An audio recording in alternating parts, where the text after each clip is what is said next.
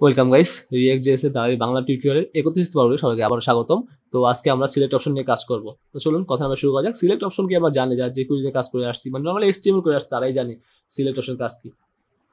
তো আমরা যাচ্ছি যে কোনো কিছু সিলেক্ট করব, তার ভ্যালুর সাথে শো হবে। যেমন আমরা যখন কি বলা হয়, যখন কোনো ফর্ম সাবমিট করি রেজিস্ট্রেশন করি, অনেক সাইটে আমি দেখি যে আমরা দেখি, যখন আমরা কোনো ফর্ম সাবমিট করি সাপোজ আমরা নাম লিখলাম সো নাম লেখার সাথে আমার এখানে টিকচিহ্ন হলো। ফাইন হতেই পারে।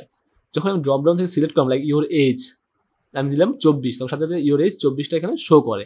সো এই যে করি, এটা আমার রিয়েক্টে খুব ইজিলি করতে পারি। যে কুড়িতে করতে পারি, যে কুড়িতে করা আমার ইজি ইজি না কঠিন কিছু না ইজি যেহেতু আমার রিয়াক্ট শিখছি রিয়েক্টে আরও ইজি ভিউ জেসে করলে আরও ইজি ওকে ফাইন তো চলুন, কীভাবে কাজ করে সেটা দেখে নিই। ফার্স্ট অফ অল আমরা যেটা করতে পারি, আমার স্টেটের মধ্যে সব বাদ দিয়ে দিই, আপাতত হলে একটা প্রপার্টি ইউজ করতে পারি, সেটা হচ্ছে এজ আমি এজ আমি একটা প্রপার্টি রাখলাম, সেটা ইনিশিয়ালভাবে এমটি রাখলাম ব্ল্যাঙ্ক রাখলাম। ওকে সো এবং আমাদের এখানে জাস্ট লাইক লেভেল থাকল ইয়োর এজ ফাইন ওকে এবং এখানে থাকবে আমার হচ্ছে গিয়ে আচ্ছা ওটা বাদ দিয়ে দিই। এখানে আমার সিলেক্ট অপশন থাকবে সো আমি একটা সিলেক্ট রাখলাম। ওকে সো তার মধ্যে আমরা জানি যে অপশন থাকে। এগুলো সবই আমরা জানি। ওকে ফাইন সো আমি এখান থেকে যাব বলে যাচ্ছি যে আমার এইজটা কত থেকে কত হতে পারে সেটা বলে দিচ্ছি। প্রথম যেটা আছে সেটা হচ্ছে গিয়ে পনেরো থেকে বিশ, পরে বললাম একুশ থেকে পঁচিশ, ছাব্বিশ থেকে তিরিশ এবং একত্রিশ থেকে অ্যাবভ ওকে ঠিক ভ্যালু হিসেবে পাস করতে হবে। কারণ এগুলো তো এবার থাকবে না, এগুলো নর্মালি হচ্ছে আমরা ফরেস্ট দ্বারা লুপ চালিয়ে ফরেস্ট লুপ চালিয়ে আমরা ডাটাবেস থেকে শো করাবো। যদি আমাদের এখানে ডাইনামিক থাকে আর যদি সিঙ্গেল ভ্যালু থাকে, তাহলে কোনো সমস্যাই নেই।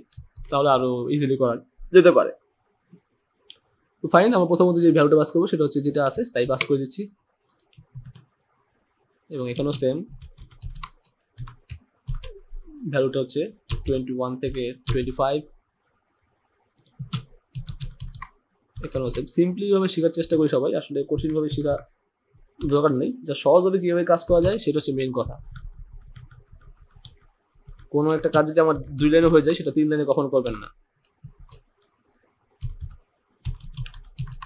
এবং ওকে ফাইন সে ভ্যালু সেট করে দিলাম এবং ইনিশিয়ালি যদি আমি কোনো কিছু সিলেক্টেড রাখতে চাই, তাহলে আমরা সেটা রাখতে পারি বা আমার বলতে পারি প্রথমটা যে সিলেক্ট ইউর এইচ এমন বলে দিতে পারি।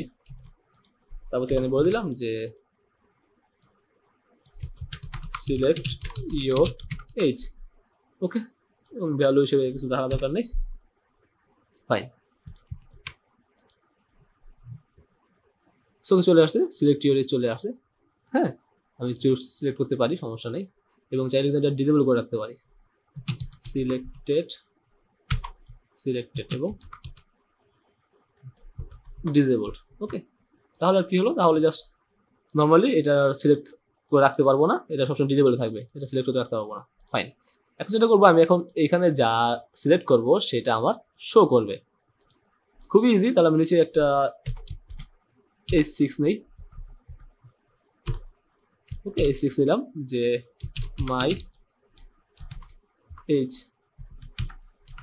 এখন আমার এজটা এখানে শো করবে। এখন এই শোটা করবে কোথা থেকে অবশ্যই আমার আগে এই ডেটাটা স্টেট সেট করতে হবে এইজের মধ্যে স্টেটের প্রপার্টির মধ্যে সেট করতে হবে এইজ প্রপার্টির মধ্যে, সেই প্রপার্টিটা আমার এখানে শো করতে হবে। খুবই সিম্পল আপনারা অনেকবার দেখছেন দিস ডট স্টেট ডট এখানে এইজ বলতে কথা নেই, এখানে যে কোনো কিছু আপনারা শো করতে পারবেন, এটা আপনারা জানেন। এখন মেইন কথায় আসি। এখন আমি যে ভ্যালুটা সিলেক্ট করতেছি, সেই ভ্যালুটা কি করতে হবে? অন চেঞ্জে আমাকে এই যে স্টেট এইজ প্রপার্টির মধ্যে সেট করতে হবে। এটাও খুবই সিম্পল তেমন কোনো কিছু না। আমরা সিলেক্টের মধ্যে আছি। এই সিলেক্টের মধ্যে থেকে আমরা কি করব? আমরা সেট করে দিব, আর কিছুই না। সাপোজ আমরা অন চেঞ্জে কীভাবে সেট করতে হয়, সেটা আমরা জানি। সো ফাইন আমরা অন চেঞ্জ ইভেন্টটা লিখে ফেললাম। তো তারপর আমরা এখান থেকে একটা অ্যারো মেথড পাস করে দিচ্ছি। অ্যারো ফাংশন পাস করে দিচ্ছি। সেখানে ইভেন্ট লিখে আর এই লিখেন এটা কোনো সমস্যা নাই। এখন দিস ডট সেট স্টেট এর মাধ্যমে আমরা কি করতে পারি? যে কোনো স্টেটে ভ্যালু সেট করতে পারি। প্রথম প্যারামিটারে যায় হচ্ছে আমার স্টেটের প্রপার্টি নেম এবং পরের প্যারামিটারে যায় কি? আমার যে টার্গেট থেকে ভ্যালুটা আসে সেই ভ্যালুটা সাপোজ ধরেন event dot target dot value okay এবং নেম হিসেবে আপনি এখানে পাস করতে পারেন। যেটা হচ্ছে যখন ডাটা ইনসার্ট করব তখন কাজ করে আর কি। এজ ওকে সেভ করলাম। চলে আসছে সিলেক্ট ইউর এজ আসলে এই ডিজাইনগুলো এখন আসলে ম্যান্ডেটরি না, যখন আমরা বুস্টেড নিয়ে কাজ করব বুস্টেড ইনস্টল করব, তখন আসলে ডিজাইনটা ম্যান্ডেটরি তো আমি এখানে পনেরো থেকে বিশ সিলেক্ট করলাম, দেখেন চলে আসছে। মাই এজ পনেরো থেকে বিশ, একুশ থেকে পঁচিশ, এবং ওইটাও সিলেক্ট অবস্থায় আছে। ছাব্বিশ থেকে তিরিশ ওইটা সিলেক্ট অবস্থায় আছে।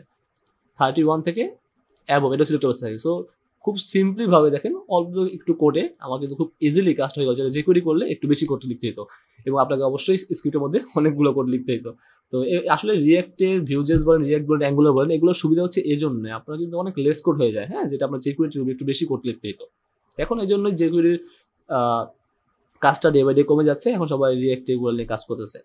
তো guys I hope you this video if you are new to channel don't forget subscribe thanks for watching